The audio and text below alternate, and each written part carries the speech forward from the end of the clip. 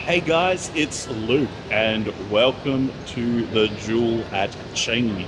Now, my flight's not till probably about another six hours, but uh, I couldn't help but um, want to explore this incredible mall and just basically be chilled before my flight. I really don't have any, I didn't really have any plans. Anything that I did plan today would have required me, you know, go home, grab my luggage and that sort of thing. But thankfully here at the Jewel, they have an early check-in. So if you're wanting to check out this place and you have a flight this day, Qantas passengers can, and I'm pretty sure most other passengers can check in up to 24 hours in advance. Like I tried checking in at the terminal and then I'm like, man, I thought there was a way I could check in early, but it's actually in the Jewel itself. So it's lunchtime. I'm gonna grab some food and I am going to go explore this incredible shopping center that's within an airport. I mean, really, here at Singapore, like, what is what is an airport lounge for anymore? I mean, like, that many levels of shopping and relaxing and dining and this place is just incredible. And of course, the centerpiece, the HSBC rain vortex. I mean, that is just incredible.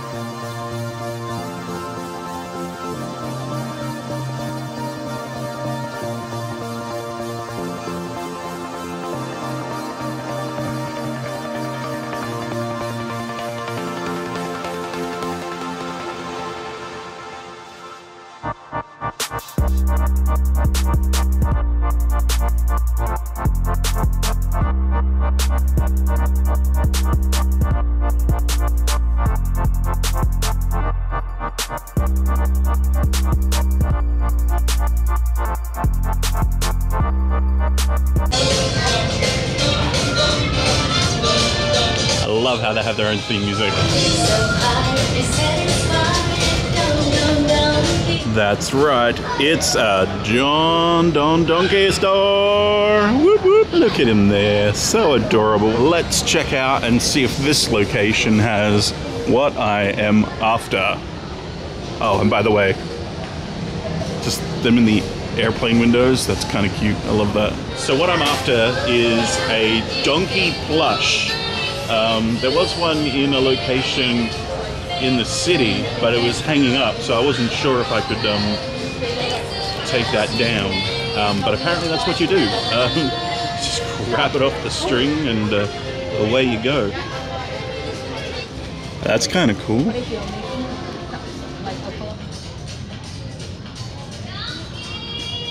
Plushies here with Shiba Inu plushies. Shiba Inu bags.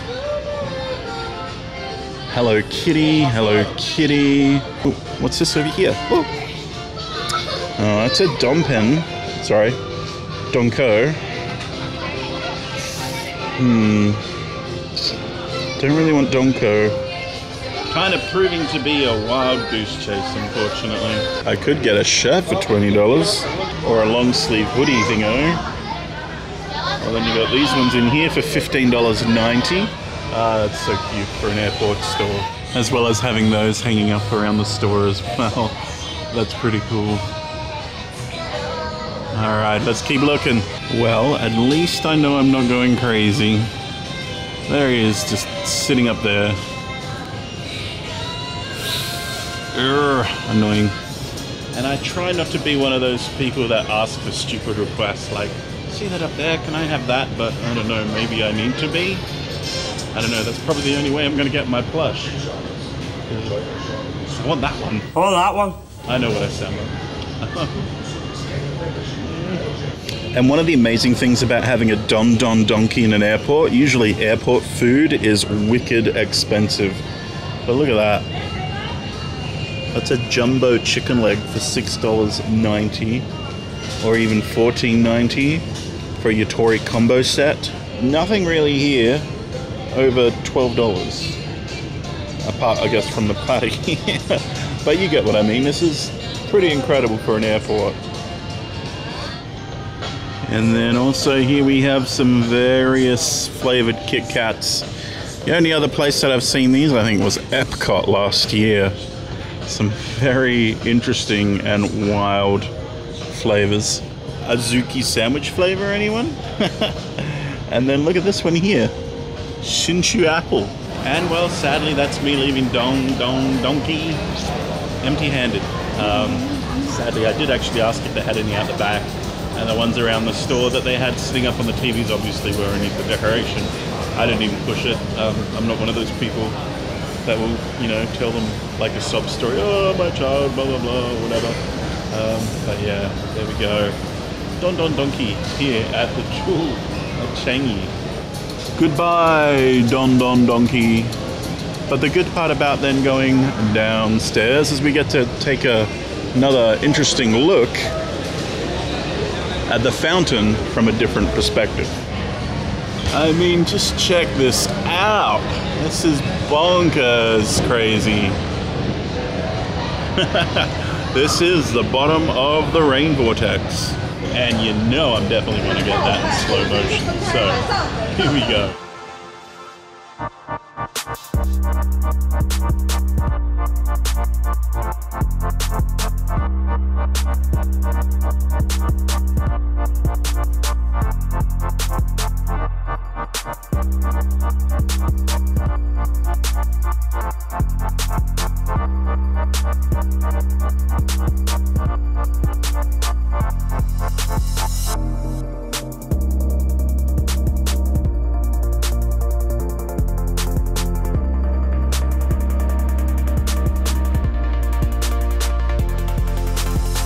They do have an A&W here.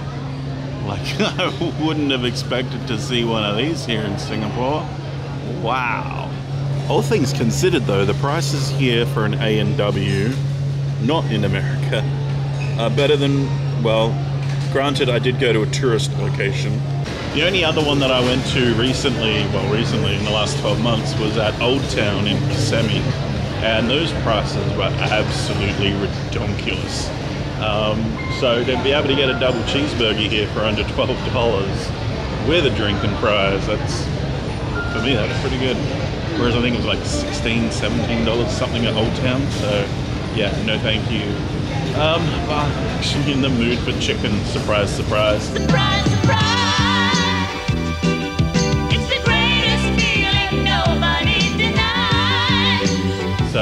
Heading off to the Colonel. And other than the fact that they they have Coke with their KFC here, I must say, as far as the actual, so you got the spicy chicken and the original recipe, I actually think I like this better than Australian KFC. I don't know why. I think it's it's a little less salty, which gives the other flavors, you know, room room to shine, and the chips themselves don't have salt on them either, um, which is a bit sad because KFC salt in Australia is the bomb. But there we go. So, yeah, gorgeous, gorgeous, gorgeous, gorgeous. All right, no more eating on camera. I will see you guys after. Also inside the Jewel, we have a cinema chain which features a IMAX cinema. And these cinemas here in most of the Shaw theaters, especially the one that I went and saw Dune in the other night with my brother, um, they're only single laser projectors, but they do still have the 12 channel surround sound, which pretty much beats almost anything out in most cinemas at the moment, I dare say, even, especially if you're a fan of bass, Dolby Atmos. Um, At AMC, they put uh, little vibrators in the seats, like little bass inducers, which make the bass feel deeper. Um, but IMAX cinemas, they don't need to do that because the bass is deeper. Um, because it's only a 12 channel, not a 12.1. So the actual bass um, is actually mixed in the 12 channels itself, which are then crossed over. Sorry, I'm talking geeky now. I'm just excited about cinema technology, guys. Um, basically, IMAX bass good, Dolby Cinema bass okay. And if anyone in the comments can tell me whether they actually still use this air control tower or if it's just now there for looks. I mean, it looks pretty well maintained, so I would assume they still use it. I mean, in there they still have all the flags, and it, yeah, it just looks kind of clean. Well, that's uh, yeah. I don't know if that's new or if that's the original one. All right, so I'm not going to go all the way up the top, but I'm pretty sure we can get a decent view from up there and see what we can see.